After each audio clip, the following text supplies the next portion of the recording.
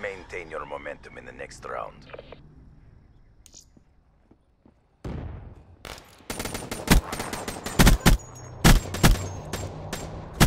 Tango, down.